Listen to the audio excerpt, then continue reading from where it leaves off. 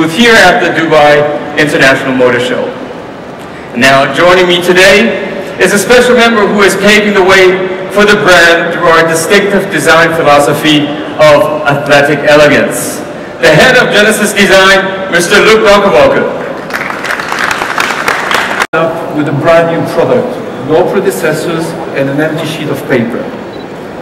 With our design identity, athletic elegance, serving as the core foundation flagship and elegant G80 sedans with his own unique character. A character that is emotional, athletic, sexy, impetuous, and anti the best proportions in the most athletic and elegant way imaginable.